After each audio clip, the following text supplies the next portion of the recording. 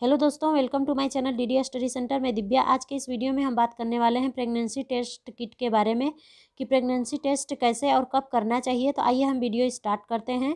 इस वीडियो में हम बताएँगे आपको कि प्रेगनेंसी टेस्ट कब करना चाहिए। तो जब आपका पीरियड मिस हो जाता है तो उसके बाद आप दस से पंद्रह दिन बाद आप टेस्ट कर सकते हैं।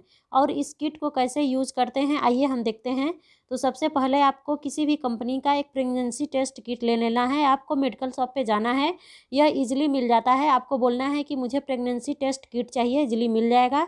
टेस्ट किट किसी भी कंपनी का हो, रिज़ल्ट सेम देता है। तो आइए हम देखते हैं कि कैसे टेस्ट करना है।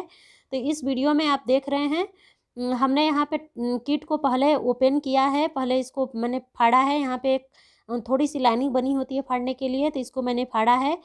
हमने यहाँ पे एक छोटी सी कटोरी में यूरिन ले लिया है, यानी पेशाब ले लिया है तो आइए टेस्ट करते हैं। इसमें से ये जो किट होती है, इसका नाम टेस्ट डिवाइस या फिर टेस्ट कार्ड होता है, और इसमें एक ड्रॉपर होता है।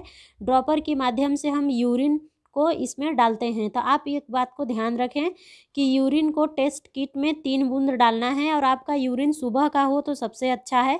आप किसी भी समय का यूरिन टेस्ट कर सकते हैं, बट अगर सुबह वाली ज़्यादा अच्छी रिज़ल्ट देती है तो आप हमेशा कोशिश करें कि सुबह के यूरिन का टेस्ट करें, इससे रिज़ल्ट अच्छा आता है।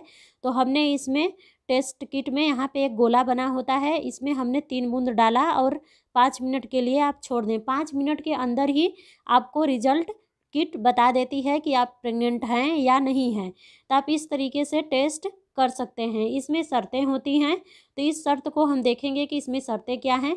अगर आपकी दो गुलाबी लाइनें आती हैं तो इसका मतलब होता है कि आप प्रेग्नेंट हैं, यानी रिज़ल्ट सकारात्मक है।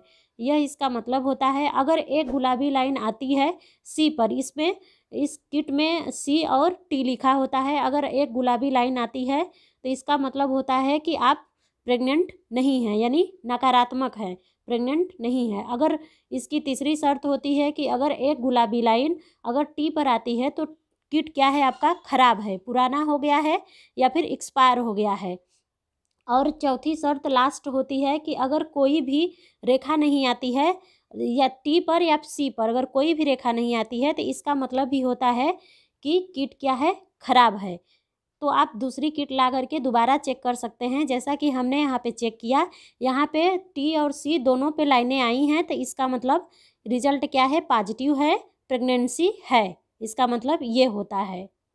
अगर हल्की गुलाबी लाइन आई है तो इसका मतलब ही होता है कि प्रेग्नेंट है। अगर वीडियो अच्छी लगी हो तो like, subscribe and share my channel.